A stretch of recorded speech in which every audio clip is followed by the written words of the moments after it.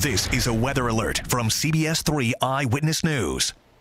Hi, everyone. I'm meteorologist Matt Peterson updating you on the snow that continues to inch closer and closer to the Philadelphia metro area. This is live Skycam 3 up in the Poconos. We got some snow coming down in those higher elevations. Some folks actually out there on the slopes already in uh, Jack Frost Big Boulder. Now, that snow that's up to the north, again, slowly working its way a little bit further south. Now, through most of the rest of the morning and into at least the first half of the afternoon until about 4 o'clock, talking about some light flurries, even across South Jersey, some light rain sprinkles. But then as we get into that commute time frame, that's when some of the heavier bands will be sliding on through. So with some accumulating snowfall through that evening commute time. And then as we head through the overnight tonight, that snow will be wrapping up as we head to about midnight or so. A winter storm warning in effect for Bucks County, the Lehigh Valley, and the Poconos until 4 a.m. That's where we'll see the areas of heaviest snow and some local spots could see even six inches or more where we have that winter storm warning.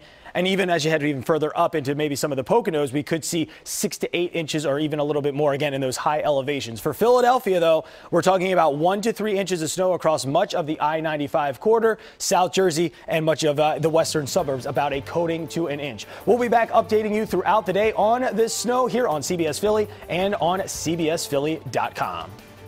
This has been a weather alert from CBS 3 Eyewitness News.